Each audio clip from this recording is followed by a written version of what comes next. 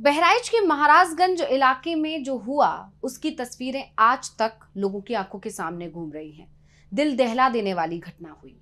उस इलाके में आज भी सन्नाटा पसरा हुआ है। आमतौर पर यहाँ चहल पहल दिखाई देती थी, लेकिन दुर्गा प्रतिमा विसर्जन के बाद जो हिंसा भड़की, उसने सब कुछ बदल दिया। महाराजगंज के आसपास के 20 गाँव वीरान हो गए हैं। मुस्लिम परिवारों ने घर छोड़ दिया है। अगर घर में हैं तो घर के अंदर रहते हैं, घर के बाहर से ताला लगा हुआ है। कोई भी किसी से बातचीत तक करने को तैयार नहीं है, बहुत ही डर और खौफ है लोगों के अंदर। जब हिंसा की शुरुआत हुई तो पुलिस और प्रशासन बेबस दिखाई दिया और बाद में भी सोशल मीडिया पर जिस तरह से अफवाहें फैलाई गईं, यहाँ तक कि खुद को नंबर वन टीवी चैनल बताने वाले मीडिया चैनलों में घटना को लेकर जो कहानियाँ दिखाई गईं, वो बेहद डरावनी थी। डरावनी इसलिए क्योंकि मीडिया की कहानियाँ सच्चाई से कोसों दूर थी। हाँ इन कहानियों से एक राजनीतिक दल को चुनाव में ज़रूर बड़ी मदद मिल सकती है, क्योंकि चुनाव में जीत के लिए वोटों के ध्रुवीकरण की ज़रूरत है। और ये आरोप भी लग रहे हैं कि बहराइच में जो कुछ हुआ, उसका कहीं ना कहीं चुनावी कनेक्शन भी है। और इस बीच यूपी पुलिस ने दावा किया है कि उसने हिंसा में शामिल लोगों पर सख्त एक्शन लिया। नेपाल भागने की कोशिश कर रहे थे आरोपी और घटना के मुख्य आरोपी सरफराज और उसके पाँच सहयोगियों के साथ मुठभेड़ का दावा पुलिस ने कर दिया है। तो कैसे बहराइच को लेकर सवालों में है यूपी की सरकार और क्या है इसका चुनावी कनेक्शन? इसी पर हम आज अपनी स्पेशल रिपोर्ट में करने जा रहे हैं बात। नमस्कार, मैं हूँ अंशिता तो बहराइच में हुई घटना को लेकर यूपी पुलिस की तरफ़ से अब बड़ा दावा किया गया है। पुलिस ने बताया है कि उसने हिंसा के मुख्य आरोपी के साथ मुठभेड़ हुई। पाँच लोगों को पकड़ा गया है जो हिंसा में शामिल थे। ADG law and order Amitabh Yash ने बताया कि राम गोपाल मिश्रा की जान लेने के मामले में पाँच आरोपियों को गिरफ़्तार किया गया है। इनमें से दो आरोपी सरफराज और फहीम को गोली लगी है।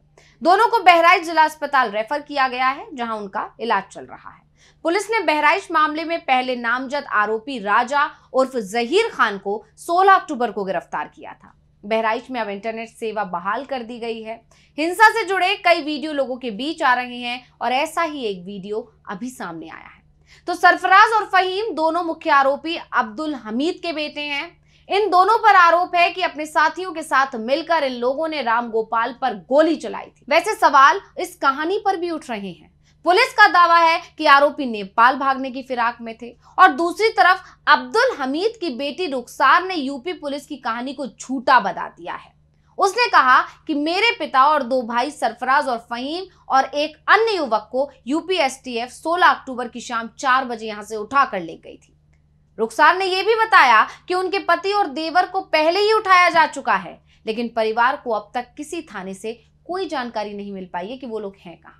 और इस बीच अब पुलिस इस पूरे मामले को मुठभेड़ बता रही है। ये पूरा मामला फर्जी है। ऐसे में सवाल पुलिस मुठभेड़ को लेकर भी उठ रहे हैं। तो इससे पहले भी यूपी पुलिस पर इस तरह के सवाल उठते रहे हैं। और ये घटनाएँ जो हो रही हैं, वो सरकार की नाकामी की वजह से हो रही हैं। सरकार अपनी नाकामी छिपाने के लिए इनकाउंटर कर रही है। इनकाउंटर नई परिभाषा में हाफ़ इनकाउंटर और भी कई परिभाषाएँ जो सरकार ने बनाई हैं।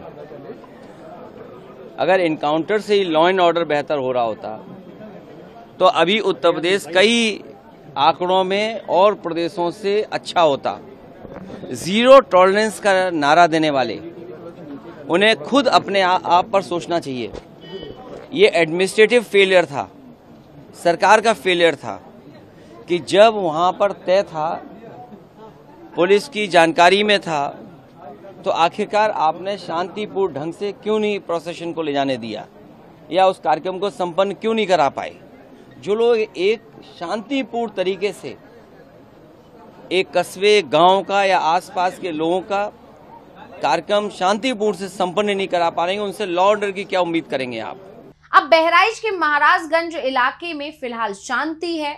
यहाँ रहने वाले ज़्यादातर मुस्लिम परिवार घर छोड़कर चले गए हैं। या ये कह सकते हैं, उन्हें घर छोड़ने के लिए मजबूर कर दिया गया, क्योंकि यहाँ रहने पर उन्हें अब डर लग रहा है। ज़्यादातर घरों को उपद्रवियों ने निशाना बनाया, जमकर तोड़फोड़ की, मारपीट की, और जो कुछ भी मिला, उसे फूक दिया। ये सब उपद्रव हुआ तेरह अक्टूबर को दुर्गा प्रतिमा विसर्जन यात्रा के दौरान दो समुदाय के बीच हुए टकराव में। एक 22 साल के युवक रामगोपाल मिश्रा की जान भी चली गई इस टकराव में। जैसे ही ये खबर फैली, पूरा बहराइच सुलग उठा। चुन चुन कर एक खास समुदाय के घरों को निशाना बनाया जाने लगा, तोड़फोड़ की जाने लगी, उन्हें मारा पीटा जाने लगा। और सबसे हैरानी की बात यह है कि प्रशासन मूक दर्शक बनकर सब कुछ देखता रहा। बटोगे तो कटोगे, इसकी चर्चा हो रही थी और इसी बीच टीवी चैनलों में खबर आने लगी कि राम गोपाल मिश्रा को गोली मार दी गई है। लेकिन इससे पहले उसका ज़बरदस्त तरीके से उत्पीड़न किया गया था। टीवी शो शुरू हो गए। डिबेट्स चलने लगी, लेकिन जल्दी ही पुलिस ने यह साफ़ कर दिया कि टीवी पर जो कुछ चल रहा है, वो व्हाट्सएप और सोशल मीडिया की खबरों से प्रेरित है। जबकि सच्चाई ये नहीं है। रामगोपाल की जान गोली लगने से गई उसका किसी तरह से उत्पीड़न नहीं किया गया था। जिस तरह की खबरें दिखाई जा रही हैं, उसमें किसी तरह की कोई सच्चाई नहीं है। ये सिर्फ़ और सिर्फ़ महज अफवाह है। हालत ये हो गई कि बहराइच पुलिस को इसे लेकर अपील तक जारी करनी पड़ गई कि, और अपनी अपील में पुलिस की तरफ़ से कहा गया कि रामगोपाल को लेकर सोशल मीडिया पर जिस तरह की प्रताड़ना की बात फैलाई जा रही है, वो पूरी तरह से गलत है। पोस्टमार्टम रिपोर्ट से साफ़ हो गया है कि रामगोपाल की जान गोली लगने से गई है। इस पूरी घटना में सिर्फ़ राम गोपाल मिश्रा की ही जान गई है। अन्य किसी की भी हिंसा में जान नहीं गई है और इसलिए सोशल मीडिया पर वायरल हो रहे फर्जी और भ्रामक दावों को प्रसारित ना करें। अब पुलिस एक तरफ़ तो अपील कर रही है, लेकिन वहीं दूसरी तरफ़ सवाल पुलिस की भूमिका पर भी उठ रहे हैं कि आखिर उसने हिंसा के बाद हुए उपद्रव को लेकर क्या रुख अपनाया, क्या कार्रवाई की, कितने उपद्रवियों पर कार्रवाई की सवाल ये भी उठ रहे हैं कि जिन लोगों ने, जिन चैनलों ने झूठी खबरें फैलाई, उनके खिलाफ क्या एक्शन लिया गया? क्या कार्रवाई हुई? दावा किया जा रहा है कि जिस तरह से क्षेत्र में तनाव को बढ़ाया गया, उसके पीछे कुछ राजनीतिक तत्व भी जिम्मेदार माने जा रहे हैं। दरअसल यूपी की नौ विधानसभा सीटों पर उपचुनाव होना है। जैसा कि आप जानते हैं कि लोकसभा चुनाव के दौरान कुछ सीट्स वहाँ खाली हो गई थी। इसके बाद से अब वहाँ पर उपचुनाव होने और उसकी तैयारियों में सभी लगे हुए हैं। ये उपचुनाव दोनों ही, चाहे वो सत्ता पक्ष हो या विपक्ष, दोनों के लिए ही बेहद महत्वपूर्ण है। खासकर सीएम योगी के लिए तो बहुत ही ज़्यादा महत्वपूर्ण है, क्योंकि लोकसभा चुनाव में जिस तरह के नतीजे यूपी में बीजेपी के लिए आए उसने सभी को झटका दे दिया था और इसके बाद एक खेमा सीएम योगी पर ही हमलावर हो गया। केशव प्रसाद मौर्य तो लगातार इस कोशिश में लगे रहे कि कैसे सीएम योगी को कुर्सी से हटा दिया जाए। तो क्योंकि ये माना जा रहा था कि सीएम योगी विफल हुए हैं, इस तरह के जो नतीजे आए हैं। अब ये उपचुनाव के जो नतीजे हैं वो भी सीएम योगी के लिए बहुत मायने रखते हैं, क्योंकि इसमें उनकी भी एक परीक्षा होनी है। तो ऐसे में बीजेपी के लिए और चाहे वो विपक्षी खेमा हो, दोनों के लिए ये बहुत ज़्यादा ज़रूरी है इस चुनाव के नतीजे कैसे आते हैं। तो विपक्षी इंडिया गठबंधन लोकसभा चुनाव में मिली जीत को बरकरार रखने की कोशिश कर रहा है तो दूसरी तरफ़ बीजेपी और योगी सरकार लोकसभा चुनाव की हार का बदला लेना चाहती है। चुनाव से पहले हर बार यूपी में ध्रुवीकरण की कोशिश होती है और इस कोशिश में इस बार बहराइच पिस रहा है। इसीलिए कहा जा रहा है कि ये जो बहराइच में घटना हुई है, जो अचानक से इतना बड़ा रूप जिस घटना ने ले लिया और इस घटना को लेकर अलग अलग तरह के दावे सोशल मीडिया पर किए जा रहे हैं गलत गलत खबरें फैलाई जा रही हैं और तमाम मीडिया चैनल उन खबरों को बढ़ावा दे रहे हैं। ये सब कहीं ना कहीं इसके चुनावी कनेक्शन की ओर इशारा करते हैं।